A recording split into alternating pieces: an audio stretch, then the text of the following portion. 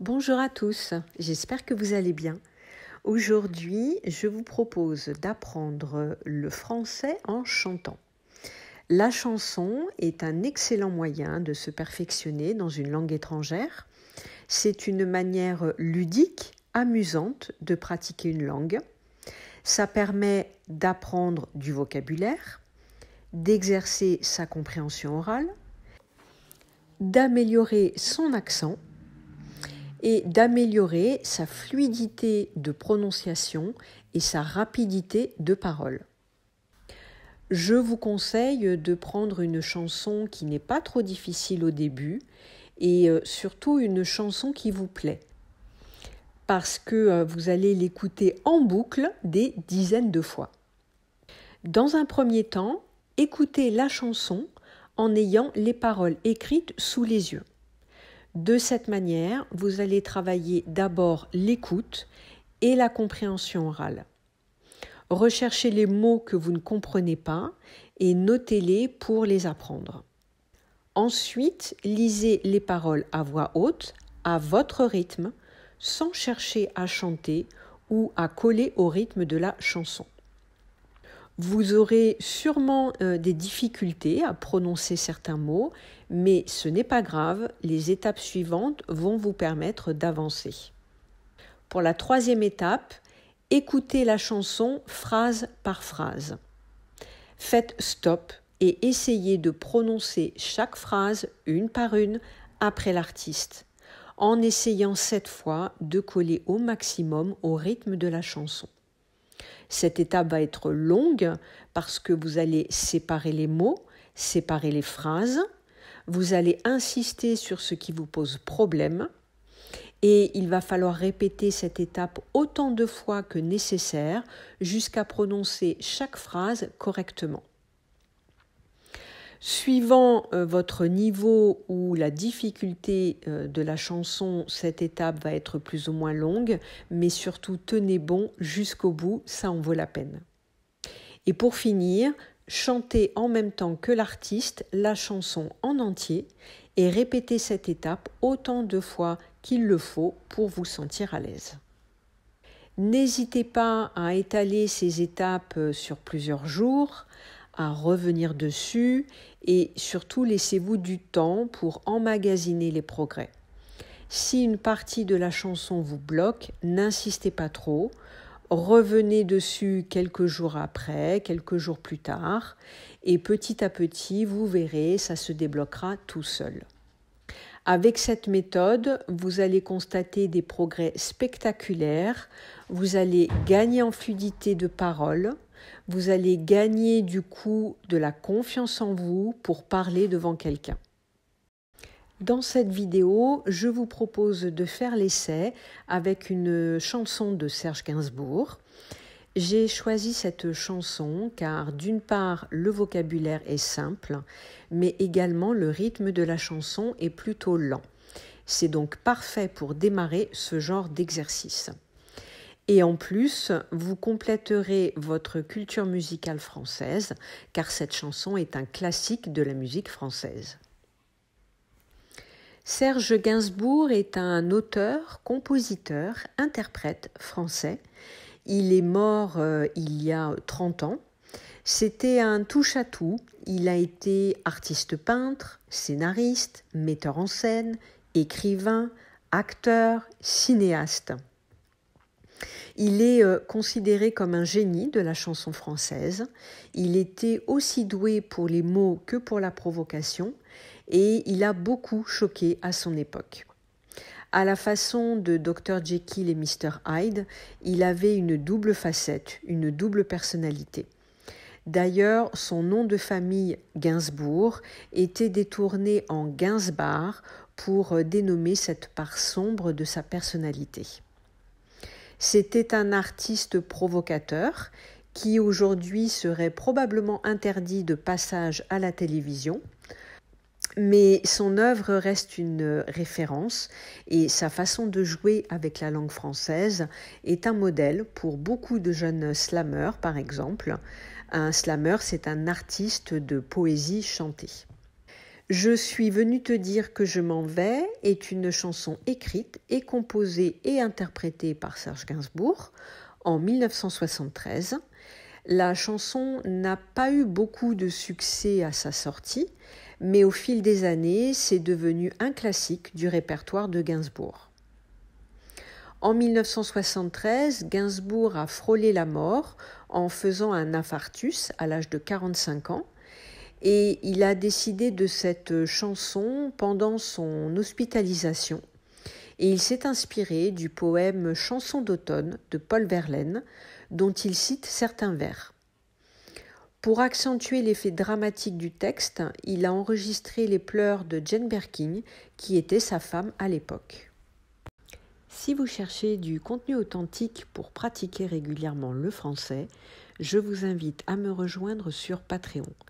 Tous les deux jours, je partage des activités ludiques pour vous permettre de progresser en français tout en vous amusant. Vous pouvez rechercher une activité par thème, par niveau, par type de support, comme vous le souhaitez.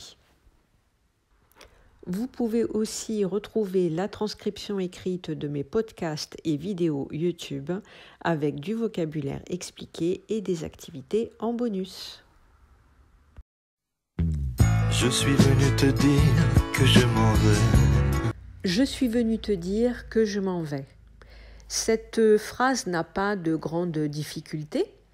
S'en aller, c'est un synonyme de partir.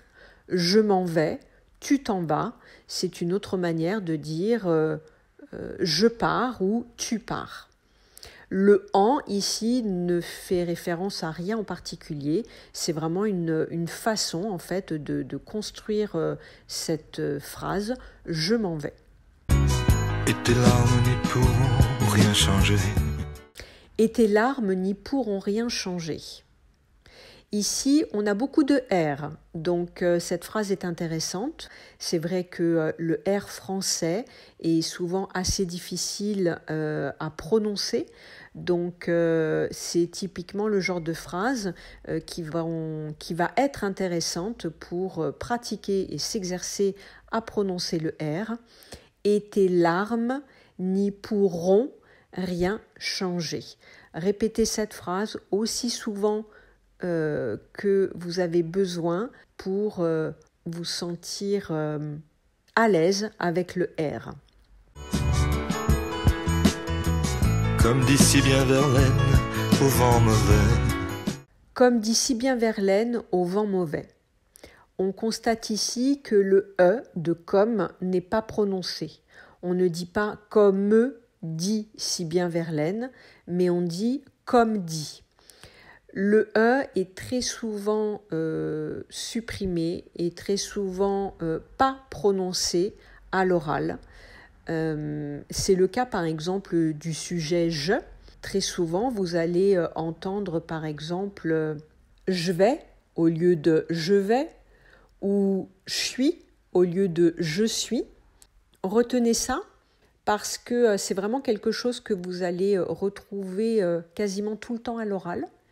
Et euh, si vous arrivez en fait à, prononcer euh, de cette manière-là, vous aurez euh, vraiment l'air de parler comme un français.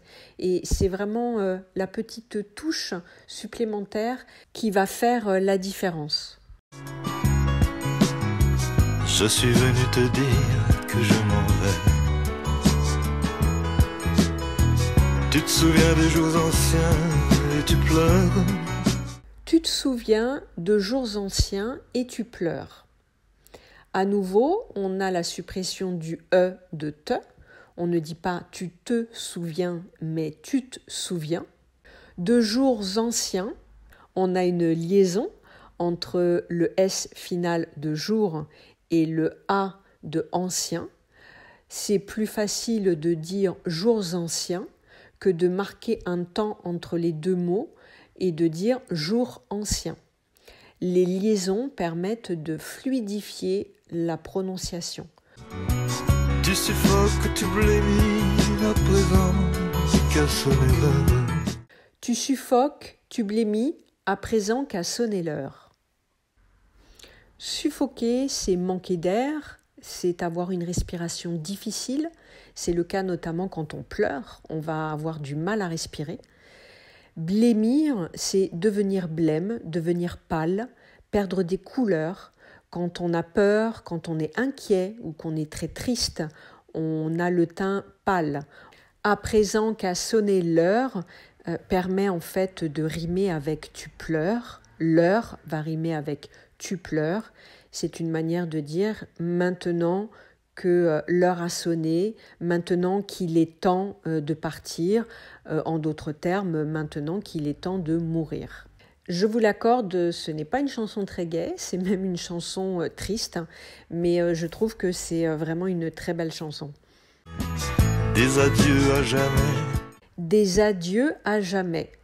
Là aussi, on a une liaison des adieux, qui est plus simple à dire que des adieux, qui demanderait une pause, des adieux à jamais. Je suis au regret. Oui, je suis au regret. Encore une liaison. Je suis au regret. Et à nouveau, on a le R à prononcer. Regret. Je suis au regret. Te dire que je m'en vais. Te dire que je m'en vais. Ici, on n'entend presque pas le D de de te dire. Te dire que je m'en vais. Oui, je suis au regret, te dire que je m'en vais. je t'aimais, oui, mais. Oui, je t'aimais, oui, mais. Là, on a euh, plusieurs fois euh, le son est à prononcer. Donc euh, c'est intéressant parce que c'est un son qui est très courant en français. On a vu ici les principales difficultés de cette chanson. L'intérêt de cette chanson, comme je vous le disais, c'est que les mots sont plutôt simples, le rythme est plutôt lent et surtout les phrases sont répétées à plusieurs reprises et donc tout au long de la chanson, on va retrouver euh, plusieurs fois euh, les mêmes phrases. Donc cette répétition va vraiment être intéressante pour euh, pouvoir progresser dans la prononciation. J'espère que cette vidéo vous a plu. Si c'est le cas, n'hésitez pas à cliquer sur le petit pouce bleu. Et si vous voulez voir euh, d'autres vidéos de ce style, euh, laissez-moi un commentaire en me disant par exemple euh, quelle chanson vous aimeriez voir traiter, quelle chanson vous aimeriez que je vous explique. Je vous dis à très bientôt dans une prochaine vidéo.